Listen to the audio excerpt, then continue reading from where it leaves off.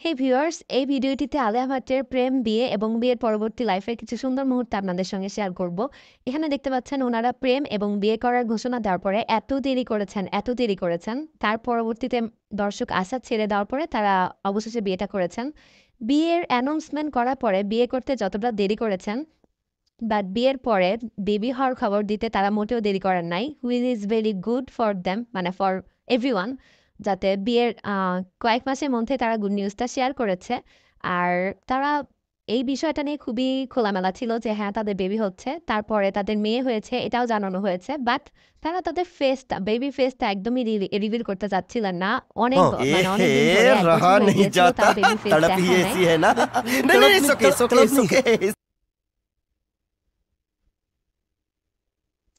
তারপর অবশেষে এই যে বেবিকে আমরা সবাই দেখতে পেলাম বেবির নাম আগেই রিভিল করা হয়েছিল যে বেবির নাম রেখেছে রাহা, মেয়ে বেবি হয়েছে, তারপরে তার নাম রাহা রাখা হয়েছিল।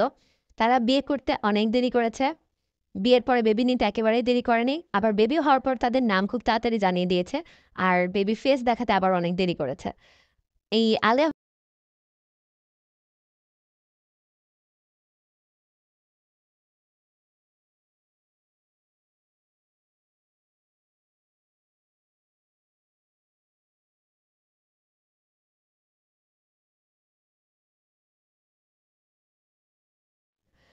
কিউট কাপল দেখতে কার না ভালো লাগে? আর তারপরে যদি হয়, এরকম একটা সুন্দর বেবি সহ মানে খুবই ভালো একটা ফ্যামিলি এনাদেরকে দেখার জন্য সবাই অনেক বেশি এক্সাইটেড ছিল। সবাই একদমই ধৈর্য হচ্ছিল না যে কখন বেবিটাকে দেখবে।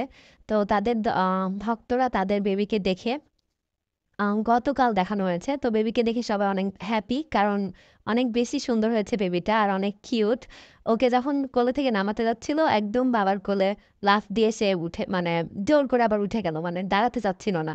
সে বাবার অনেক ভক্ত দেখে বোঝা যাচ্ছিল। আবার হাত দিয়ে দুইজনকে আদর দিচ্ছিল যেটা দেখতে অনেক কিউট লেগেছে। আলিয়া ভাট আর রণবীর কাপুরের মেয়ে রাহা কাপুর কার মতো হয়েছে দেখতে কমেন্ট সেকশনে জানাবেন। আমার তো দেখতে অনেকটা আলিয়া ভাটের মতো লাগছে।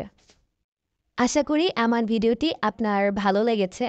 আর আমার চ্যানেলে যদি আপনি নতুন হয়ে থাকেন প্লিজ আমার চ্যানেলটি সাবস্ক্রাইব করে দেন। আর ভিডিওতে লাইক দিয়ে আমার পাশে থাকেন। যেন আমার ভিডিওটি আরও বেশি গ্রো করে আর আপনার একটা লাইক অনেক বেশি ইম্পর্ট্যান্ট আমার কাছে কারণ একটা লাইকের ফলে ভিডিও আরও বেশি গ্রো হয় thank you so very much for watching my video viewers আল্লাহ হাফিজ इसी के साथ आज की मजदूरी यहीं खत्म करते हैं अगर तुम्हें वीडियो पसंद आई तो लाइक मारो यार इतना झिला मैं कभी नहीं हूँ अपनी पूरी ज़िंदगी में जितना इसमें झिलाऊं मुझे चाहिए ही चाहिए। तो लाइक मारो। और अगर तुम लोग नए हो तो सब्सक्राइब करो। वो जो लाल वाला बटन है, उस पर फूट फेंक के मारो या फिर मोमबत्ती। मुझे नहीं पता, बस क्लिक हो जाना चाहिए। अब मैं भी जा रहा हूँ, मुझे पैसों के पीछे भागना है। बाय